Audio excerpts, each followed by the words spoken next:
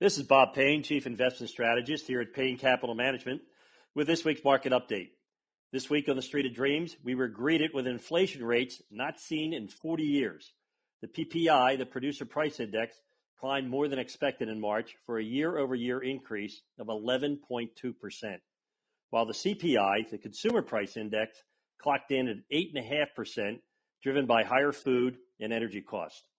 Now, these readings have ramped up the pressure on the Federal Reserve to potentially raise the interest rates by 50 basis points. That's a half of 1% at its upcoming meeting. The yield on the benchmark 10 year Treasury bond rose to 2.83%, a new pandemic era high. Now, higher rates continue to push long duration assets like bond funds and tech stocks lower, while higher inflation is pushing commodities and oil stocks to new 52 week highs.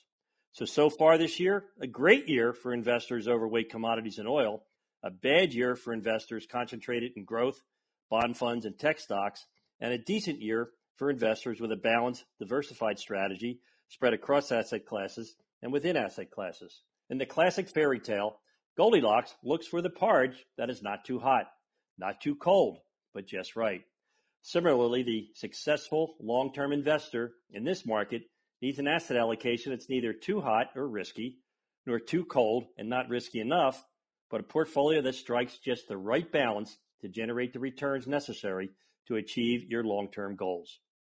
Now, if you'd like to know if your portfolio is too hot or too cold or just right, all you have to do is text or call 844 752 6692. That's 844 752 6692, or just simply call 844 Plan NYC. That's 844 PLAN NYC. Hey, this is Bob Payne. I'm the Chief Investment Strategist here at Payne Capital Management.